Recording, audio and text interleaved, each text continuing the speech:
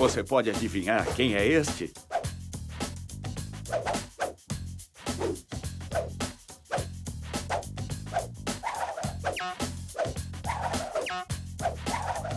Continue tentando.